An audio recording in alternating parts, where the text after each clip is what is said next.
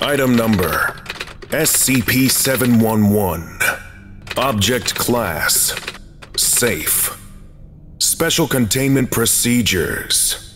Under no circumstances whatsoever is SCP 711 to be operated.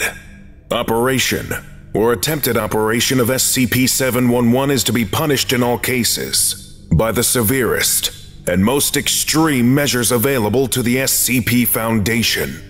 Enforcement of this zero tolerance policy, should it become necessary, is to become the single highest priority assignment for all available Foundation personnel.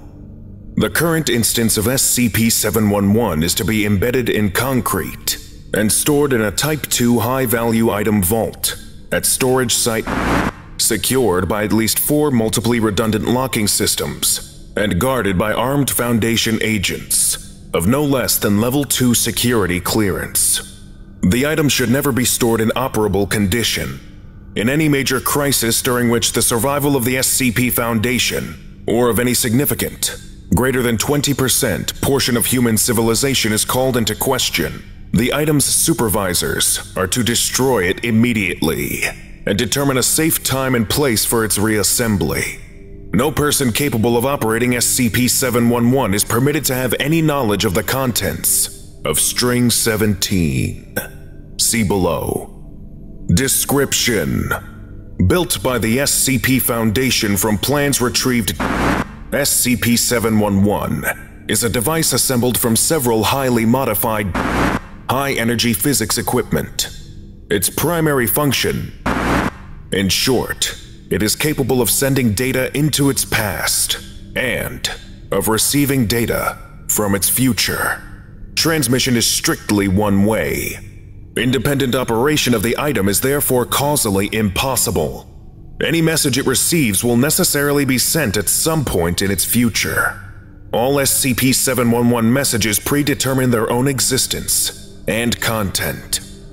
To date, exactly 17 messages have been received via SCP-711. The first string was received at 1300 hours, on the day of the item's creation, and sent four minutes later. It consisted only of the characters test. With successive operations, signal quality has declined dramatically. String 1 was transmitted perfectly, reading precisely test, both when sent and when received.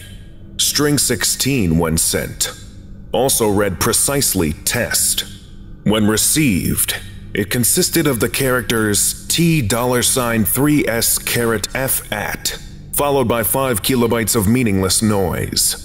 Additionally, over the course of testing, four strings were received which were never sent, and which consist demonstrably P less than 0.0001 of nothing but noise.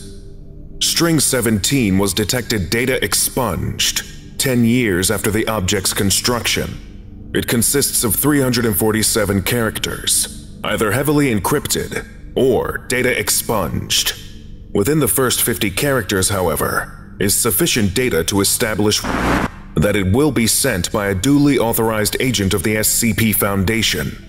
Its date of origin is unknown. To date, it has not yet been sent. Since String 17 will necessarily be sent, and since it is known to be sent by an agent of the Foundation, the survival of the SCP Foundation and of humanity in general is guaranteed, at least until such time as String 17 is transmitted. Transmission of String 17 must therefore be postponed at all costs. The above containment procedures are calculated to ensure that it will not be sent until such a time as the SCP Foundation is too weak to enforce them, in which case the Foundation will have already de facto ceased to exist. Note: SCP-711 is an insurance policy of sorts. Until we send String 17, we know we have to survive any crisis. Otherwise, that string is a BL-class predestination paradox. Once it's sent, we no longer have that guarantee. Yes, we'll have to fail at some point. We did receive string 17 after all, but the longer we postpone it, the longer we know we can survive. Stop that signal, people. Our continued existence may just depend on it. Dr. P. Lesson complete. If you missed the previous orientation, go watch SCP 710 Disappearance right now. Or for the complete course, watch this playlist.